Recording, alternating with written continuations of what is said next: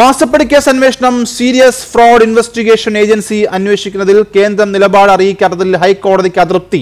നിലപാട് അറിയിക്കാൻ രണ്ടാഴ്ചത്തെ സമയം കൂടി ആവശ്യപ്പെട്ട് കേന്ദ്രം വിവരങ്ങളുമായി എൻ കെ ഷിജു ചേരുകയാണ്.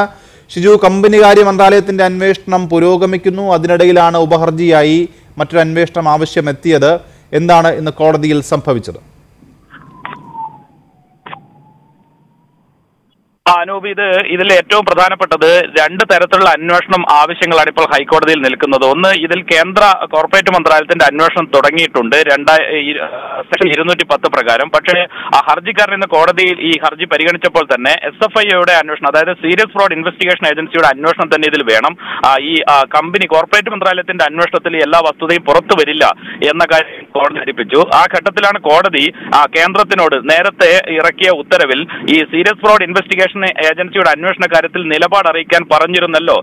എന്തുകൊണ്ടാണ് ആ കാര്യത്തിൽ മറുപടി പറയാത്തത് എന്ന് കോടതി ചോദിച്ചു. കേന്ദ്രം ഈ ഇന്നിപ്പോൾ നടന്നുകൊണ്ടിരിക്കുന്ന കോർപ്പറേറ്റ് മന്ത്രാലയത്തിന്റെ കാര്യം മാത്രമാണ് കോടതി അറിയിച്ചത്. ഈ ഘട്ടത്തിലാണ് കോടതി ആ കേന്ദ്രത്തെ വിമർശിച്ചത്. നേരത്തെ പറഞ്ഞ ഉത്തരവിൽ ആ, ഒരു നിലപാട് അറിയിക്കാത്തത് എന്തുകൊണ്ടാണ്? കോർപ്പറേറ്റ് മന്ത്രാലയത്തിന്റെ അന്വേഷണം ഉണ്ടായാലും ആ സീരിയസ് ഫ്രോഡ് ഇൻവെസ്റ്റിഗേഷൻ ഏജൻസി അന്വേഷിക്കുന്നതിന് എന്താണ് തടസ്സം എന്ന കൂടി കോടതി ചോദിച്ചിട്ടുണ്ട്.